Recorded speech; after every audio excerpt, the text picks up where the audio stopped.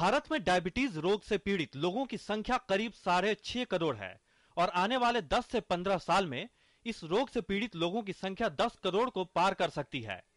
Diabetes से पीड़ित लोगों को काफ़ी लंबे समय तक इलाज की ज़रूरत होती है। इनके लिए घर बैठे ग्लूकोज की जाँच कराना अब और भी सस्ता हो जाएगा। देश के दो संस्थानों, आईआईटी मुंबई और बिट्स पिलानी के हैदराबाद कैंपस ने ग्लूकोज की जाँच के लिए ग्लूकोमीटर और स्ट्रिप्स विकसित किए हैं। स्वास्थ्य मंत्री गुलाम नबी आज़ाद ने सोमवार को नई दिल्ली में इस किट को जारी किया।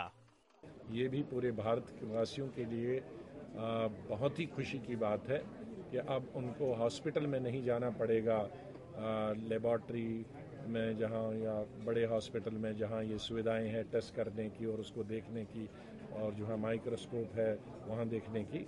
ग्लूकोज की जाँच के लिए अब तक हम विदेशों से आयातित ग्लूकोमीटर और स्ट्रिप्स पर निर्भर थे जिनकी कीमत काफ़ी अधिक थी।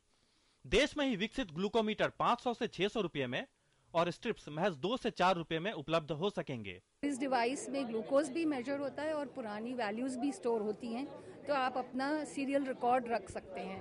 और आगे आकर हम इसको आ, ऐसे भी इनेबल करने वाले हैं कि आप अपना डेटा जो है वो एक कंप्यूटर में डाल सकें या अपने डॉक्टर को एसएमएस कर दें। जिससे आपका एंडोक्रोनोलॉजिस्ट के पास भी रिकॉर्ड पहुँच जाए।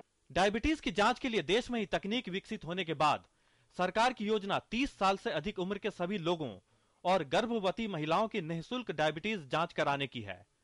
देश के 21 राज्यों के 100 जिलों में 2010 से ही पायलट प्रोजेक्ट के तौर पर यह योजना लागू है और कुछ महीने बाद इसे देश भर में लागू कर दिया जाएगा।